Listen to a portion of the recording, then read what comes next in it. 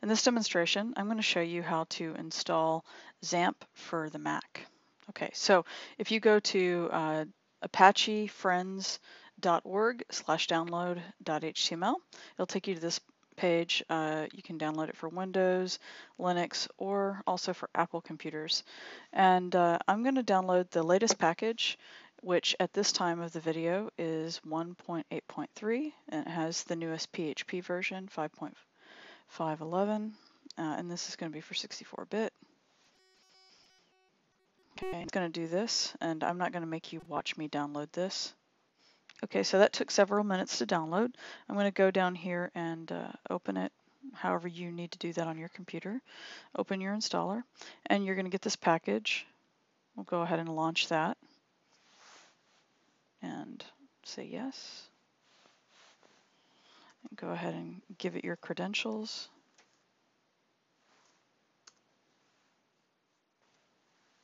And it's going to take you to this uh, Bitnami installer. And so go ahead and click on next. We're going to go ahead and leave these alone and do the default install. Oh, let me go back. Notice that it's going to put it in your applications folder. So it'll go into applications slash XAMPP, okay? And don't worry about this. I'm going to take this checkbox off. I don't want to learn more right now about Bitnami. We can learn about that later if we want. Go ahead and click on next and it's going to go through this installer which will take a few minutes. Okay, so now it's finished and we're going to go ahead and launch XAMPP. Click on finish. And you'll notice that it goes ahead and opens up um, a web browser and it automatically opened it in Safari for me. And you'll see here in what would normally be the domain location, it says Leighs-MBP for MacBook Pro. Anyway, that's the name of my computer. And then it goes to a folder called XAMPP and then a splash page. Um, we're going to go ahead and click English. We shouldn't have to go to that every time. But notice that it keeps on referring to Leighs uh, slash, or excuse me, uh, hyphen MBP. What it's doing here is it's making um, a name resolution in my computer so that it can just go to the name of this computer. Um, that's not something that it is going to do automatically in a Windows computer. Um, and uh, but it's it's working that way here. But what we're going to do is, for the sake of consistency in this class, what we're going to do is not use the name of your computer here. We're going to type in the word in this first position called localhost. Okay, and I'm going to go ahead and enter. And then you'll see that it resolves to exactly the same, uh, the same page. Localhost is something that um, all computers essentially have um, in their, it's referred to as a hosts file.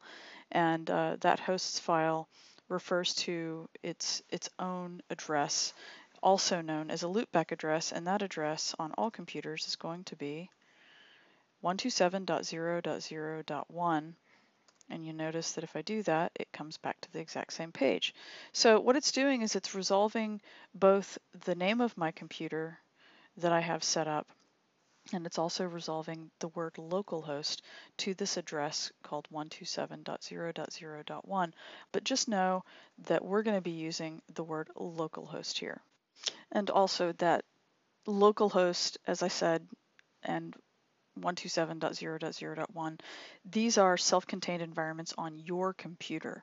So each person in this class, each person who ever does this, um, they have a, exactly the same thing where it's localhost resolving to 127.0.0.1. Everybody has that on their own computer. But if I were to try to reach you through the web by typing localhost, I wouldn't be able to do that. It would resolve back to my own uh, computer, which is sort of like saying me, myself, I. Each one of us has that option. We can all say that, and everybody knows that we're talking about ourselves. All right, so um, that's kind of important uh, that you understand that and that later whenever you go to submit work to me, um, I can't see what's on localhost. So whatever you're doing on your own development server and you need help, then um, I can't see your source code. What you're going to need to do is you're going to need to take what you have on your own computer and you'll need to throw it up on the server in the location that uh, that is provided to you. And that way I will actually have access to your source code. But anything that's you know sitting in your own computer under localhost uh, in the htdocs folder, which we'll get to in a second, I can't I can't see that. Okay, only you can see that. All right, let's move on. So I'm going to just show you around this uh, panel over on this side. Um, if we look at status, you'll see that everything um, here is activated for um, the server side includes Perl, PHP, and so forth. The only thing that's not activated is the MySQL database. That's honestly not a very big deal because we're not going to be using it right away. But if you want to know how to activate it, I want you to come over here and this little icon, it looks like a gear and a teardrop. Um, it right now, uh, mine's already open. You might be able to click on yours and have something open up. But if I come down here, um, it's going to give me a control panel. This is your XAMPP control panel, and these are the three um, services that are available on uh, Macintosh computers. So we have the Apache web service that's running. That's our web service, and that's the only reason right now that if that's the only reason that we're able to do this localhost resolution. If I were to select this Apache web server and say stop, okay, and it's stopping the service. And the service is something that runs in the background. And now I were to try to go to localhost, let's go to that address, it tells me that it can't find the server because the web service isn't running. That's really important to understand that localhost is going to be an address that works only when your web service on your computer is working. That's why we had to install this, okay, because we're going to have to have this web service running on our own computers to run PHP. So I'm going to go ahead and I'm going to start that back up again. But this is where uh, MySQL needs to be started. Um, so on my computer, it didn't automatically start the database service. So if you wanted to access your database service, you could select it in the control panel and click start. Okay, and then it takes a second to get it going and it will come on. And when the little light goes green, it means it's fully running. Okay, so there we go. And now if I come back here, my web service is running. I can access this. Now if I look at status, you'll see that MySQL is, um, is activated. All right, let's look at security also. And it tells you that all these things are unsecure. All right, I'm not going to worry about this, um, and I don't really think you need to either, because this is your own local environment. The only time maybe that you would need to worry about not having root passwords on your PHP MyAdmin, and I'll explain what that is in just a minute, um, and you know that this stuff is accessible, is if maybe you're in an airport and you don't want somebody to have any kind of way to get a port into your computer. Um, and if that's the case, you can just um, disable the service.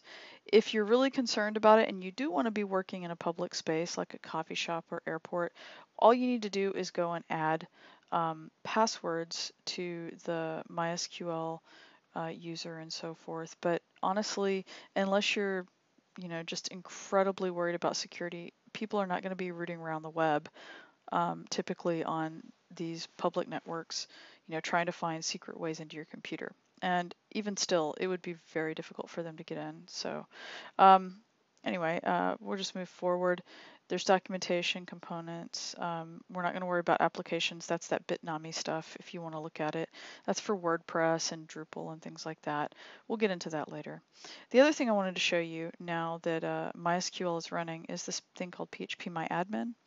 And we're not going to use this now, but this is a web interface that allows you to connect to the database service. Um, otherwise, you would have to do it all through command line, and it's awful. Um, and that's how you know people used to always have to do it until this tool came up and there's some other tools that you can also use. But this one's a really handy feature and this is one that you're going to see on almost every single um, web host that you can buy hosting from okay? So this is a good one to learn. It's a, and, and it has a, a, a connection that allows the um, PHP service or the PHP module to connect into the database. So, uh, but right now, don't worry about any of that. Okay, so this is our uh, interface stuff, and I want to show you something else too. We have the web address localhost and then forward slash XAMPP. Okay, and then it's automatically going to index.php. This XAMPP folder is inside of a folder called htdocs. Um, I'm going to show you in the next demo where those files are located. I'm, I'm going to stop this one just a second, but I do want to make a point to show you that if I get rid of the rest of this address and I just go to localhost and I hit return, it automatically takes me back to this XAMPP folder. Okay, there's a redirection file that's sitting in the main web serving directory. So in the next demo, I'm going to show you how to root around and find where these files are located so that you'll know where to put your files for testing and also how to get around this always happening.